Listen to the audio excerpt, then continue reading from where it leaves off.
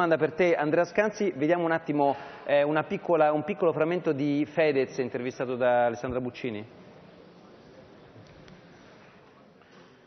La politica è cittadinanza attiva, è sapere essere consapevoli e bisogna capire che molte volte per me è anche più semplice di come la si guarda, ma molte volte la, la si tende a, a, a, dipingere come leziosa, come molto complicata e macchinosa. Io dico che un, un Presidente del Consiglio, che la, la sua campagna elettorale è stata finanziata da grandi lobby e non dal popolo, non può che fare l'interesse delle grandi lobby e non del popolo. Ma tra Renzi e Landini chi è che rappresenta la modernità, volendo mettere diciamo, loro due sul... Beh, nessuno dei due probabilmente. Nessuno. Ma non è, in questo momento non è il fulcro di tutto, non penso sia la, la modernità in sé, perché lo stesso Renzi può portare tante cose moderne, ma di suo le sue radici sono parecchio impolverate. E non c'è nessuno che incarna diciamo, appunto, un'idea di rinnovamento, di detto, protesta? Io l'ho sempre detto, il Movimento 5 Stelle per quanto disorganizzati, per quanto eh, incoscienti, la loro è una sana incoscienza e io in tutti gli scandali recenti, da Mafia Capitale, da, da tutto, non sono mai stati coinvolti da nulla e tu dirai sono da poco in Parlamento. Io le poche cose, le poche schifezze che prima non si sapevano le vengo a sapere da loro. Che poi ci sia un'organizzazione da anche lì rimodernare da ben oliare, e da oliare per bene, sono, sono d'accordissimo. Ma io il se proprio mi, mi chiedi dove vedo il futuro, forzatamente devo risponderti, ti dico lì.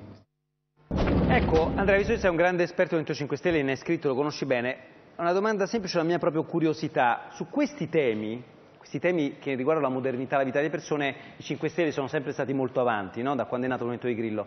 Lo sono ancora o si sono persi? Cioè, sono ancora un movimento che pensa, diciamo, nell'ottica dei cittadini, secondo te? Eh?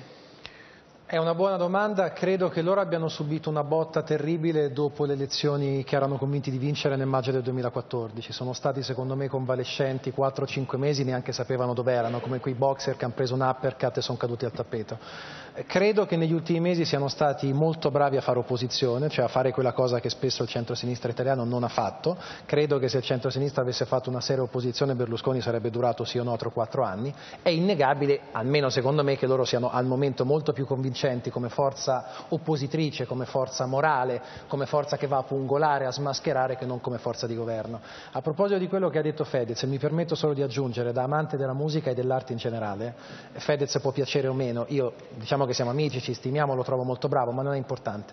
Mi piace molto l'approccio che ha Fedez, cioè è un artista che secondo me ha il coraggio delle sue azioni e quindi anche il coraggio di rimanere antipatico, che sia condiviso o meno. Io avverto, e lo dico da uomo di sinistra, avverto una grande mancanza in questa fase storica degli intellettuali che magari erano gli stessi che 10-15 anni fa per esempio gridavano con questi leader non vinceremo mai o magari facevano le prime serate per parlare della difesa della Costituzione. Due nomi a caso, Nanni Moretti e Roberto Benigni. Ecco, a loro due e a tanti altri membri dell'intelligenza vorrei sapere se veramente gli va bene bene a loro di sinistra vincere a questi costi con questa persona, con questa politica. Sarei bene. curioso di saperlo. Questo è un tema per la prossima puntata.